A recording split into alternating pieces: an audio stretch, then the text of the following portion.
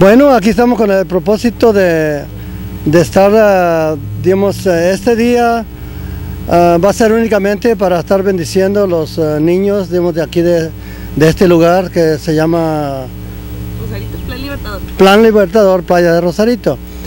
Así de que hoy estamos aquí con el propósito de regalar juguetes para los niños que vengan, ¿no?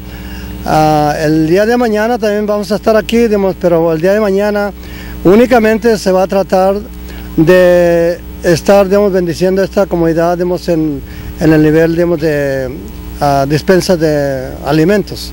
Así de que cualquier persona, siempre que está por aquí, tratamos de bendecirlas. Ahorita, digamos, este, creo que contamos con unos, uh, más o menos unos mil juguetes, creo yo.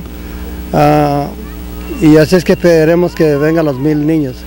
Bueno, es que sí, en realidad la gente está muy pobre, eh, bueno, casi no tienen, ahora sí que viven al día, sus, los salarios son muy bajos, la verdad. Y pues a veces no alcanza ni para la cena navideña, eh, ningún regalito para los niños. Y el motivo de este evento es ese. Pues sí, damos las gracias, ¿verdad? Primeramente a Dios, porque ese es el propósito. ¿verdad? De presentarles el Evangelio de Jesucristo. Y pues a estas personas también que Dios puso en su corazón, traer un granito, un, una semillita, ¿verdad? De los juguetitos para los niños que se pasen un, un día feliz.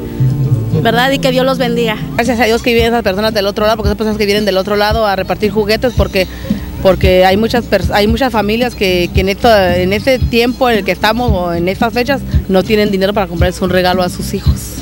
Sí, pues la economía que no hay, no hay dinero, no hay trabajo, ya ve ahorita está muy escaso el trabajo, hay, hay escasez pues y por eso a veces muchas familias no, no, no, no tenemos o no tienen para un juguete para sus hijos y, y pues gracias a Dios que esas, esas personas que vienen de allá para regalarles pues a, a las familias de aquí de escasos recursos su, su juguete para los niños.